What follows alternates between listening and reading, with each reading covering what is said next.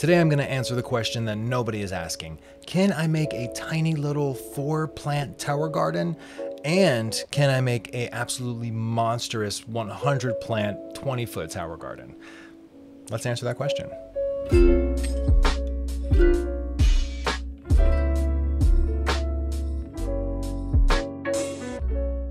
So today I'm going to show you guys how I took Tower Garden Family Bundle and broke it up to make this absolutely adorable little four plant tower garden with a trellis. I also have one regular tower garden. This is the regular tower garden flex five plate unit. This is what you would get if you went down to my description box, clicked on that link, and then went to tower garden flex and purchased one. This is what will come to your door.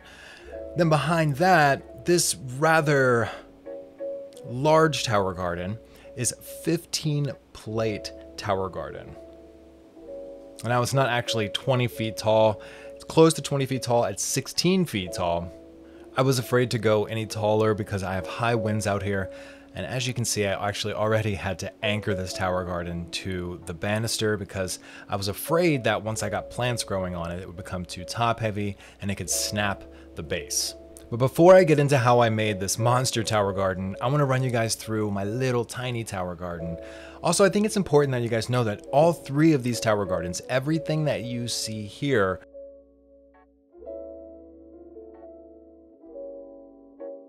all came from one Tower Garden family bundle.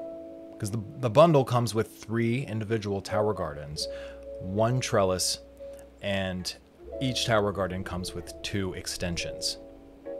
So you can mix and match and get creative with your tower gardens. I just got really creative with this set. So the shorter tower garden, you might be asking yourself, what would you even use that for? There's only four holes for plants, but I actually have the perfect use for this. And the reason I have a trellis on it is because I have an orange lilikoi plant that I'm really excited to plant in this, otherwise known as passion fruit. I've been excited to grow passion fruit hydroponically, and this is the perfect garden to let these four plants just go absolutely crazy and fill out the trellis. So to create this small little garden, the Tower Garden Flex unit actually comes with the first plate already attached to the top of the base. So all I had to do to make this garden was just put the little top plate on and that was it. Now I'm just gonna fill it and watch them grow. And then we're gonna move past the standard Tower Garden Flex. That's gonna be filled with sugar snap peas because my kids are obsessed now. To the absolutely monstrous 15 plate Tower Garden. So to make this tower garden, I just took the extra four plates from my Lilikoi tower garden and I took all of the extra extension kits that each one of these tower gardens came with, which would be which would be six extensions all together, and I just put those all on top of each other on top of this garden. Now, keep in mind, all of this is held together by metal rods that run straight up through the middle. So I had to make sure those rods were nice and tight and secure and in the right places going all the way up to the top. You can't just put tower gardens together and not put the rods through them. They're gonna leak or wind blows and they'll blow over or they become top heavy.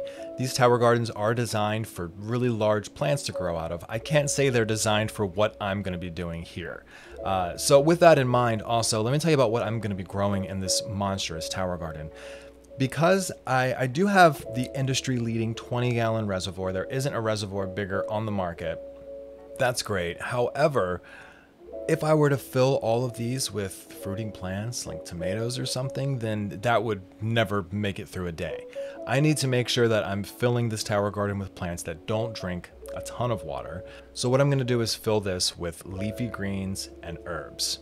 And then at the very top, I want to allow some small flowers to cascade down so that this can be a bit of a beacon for any pollinators that can come over to pollinate my other tower gardens. Now, I don't know if this is structurally going to hold up to the wind.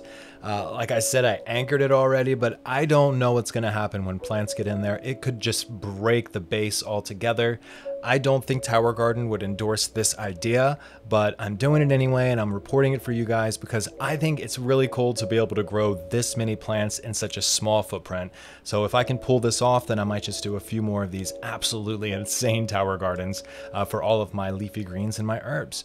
Because why not, right? All you have to do is upgrade the pump.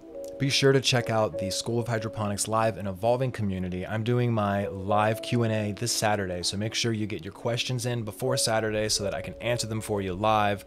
Uh, we also have an amazing community of people over there to answer any other questions, as well as an expansive library of guides. I've revised all of my old guides, as well as put together a ton of new guides just for the School of Hydroponics community. So make sure you check that out in the description box or right there.